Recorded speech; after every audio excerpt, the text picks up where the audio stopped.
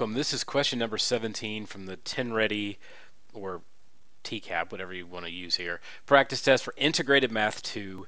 We're in subpart B or subpart 2 or whatever, so calculators are allowed. You don't need it here though. The chart gives the number of people owning cell phone as a function of years. So this is how many people, millions of people own cell phones since 1977. This number's gone up just a little bit since then, and by a little bit I mean ridiculous amounts. Uh, the number of people owning cell phones in T is modeled by this equation, so I'm just going to write it up here just so I can discuss it a little bit.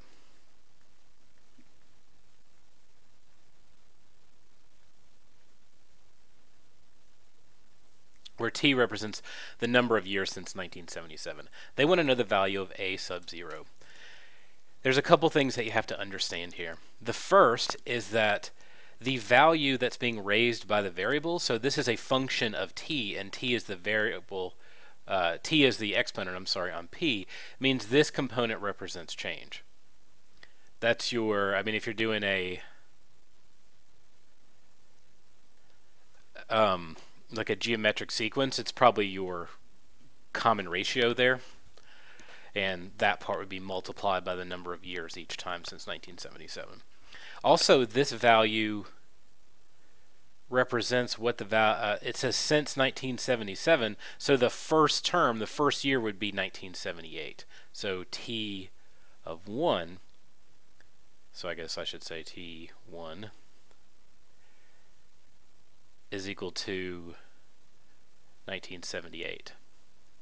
And that'll come into play here in just a second. Now, what does that leave left over? By the way, this is a multiply relationship. If you don't see a sign, uh, uh, any operating symbol there, it means it's a multiplication. If uh, numbers or letters touch, they multiply. Kind of like if you used to keep hamsters or something. If you have one that's a boy and one that's a girl, it seems like as soon as they touch, you have like six hamsters, so be careful. Anyway, a sub 0 would say, really, this is my starting point. It's the amount of people that have cell phones before I start analyzing year one, year two, year three. Hence the year zero. So A sub zero represents a constant amount based on, uh, yeah, based on the year that everything starts out. My origin story. If I were to draw a graph, and this would probably be some sort of exponential, right here, it'd probably be way up here actually, and then it would just shoot up like this because of the nature of it being raised to an exponent. It means it's probably exponential. Anyway, with that being said, it may not go up that fast depending on the value of p. But what I can find out is when you see this a sub 0, it means what's the starting point, what's the starting time. So since the number t represents the number of years, then one year would be 1978, t of 0 would be 1977. So the question says, what is this value? And since this is um, giving me the value of cell phones in millions. I can go ahead and keep this. 1977 is 2.1. So the answer to number 17 is D.